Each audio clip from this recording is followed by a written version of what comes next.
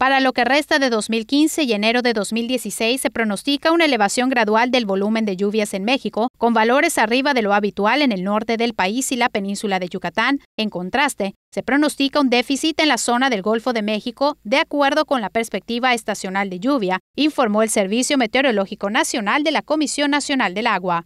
Según los registros climatológicos que abarcan de 1981 a 2010, el promedio de precipitación de noviembre es de 27 milímetros. Para este mes de 2015 se pronostica un acumulado de 36 milímetros, lo que representa 34% más de la media.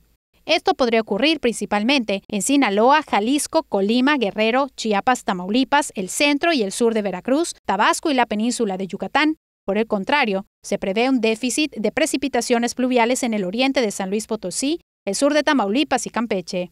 En diciembre, se estiman 25 milímetros de precipitación acumulada, cifra 7% más alta que la media histórica, que es de 23 milímetros.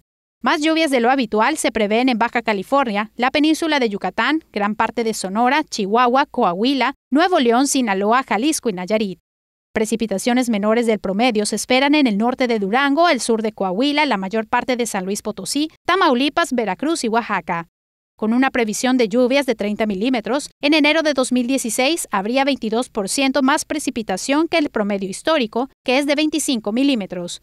El incremento se espera en Sonora, Baja California, Guerrero, Oaxaca, el norte de Chihuahua y Coahuila, la península de Yucatán, el Valle de México y la región centro-norte del país, Precipitaciones inferiores al promedio histórico se pronostican para el istmo de Tehuantepec, Sinaloa, Tamaulipas, Nayarit, el sur de Chihuahua y Coahuila. La lluvia acumulada en el país del 15 de mayo al 5 de noviembre de 2015 es de 624.0 milímetros, cifra 1.32% menor que la media histórica, que es de 632.4 milímetros. Para mayor información sobre las perspectivas climáticas, se recomienda consultar las actualizaciones que se publican la primera semana de cada mes en el portal de Internet http diagonal diagonal smn.conagua.gov.mx.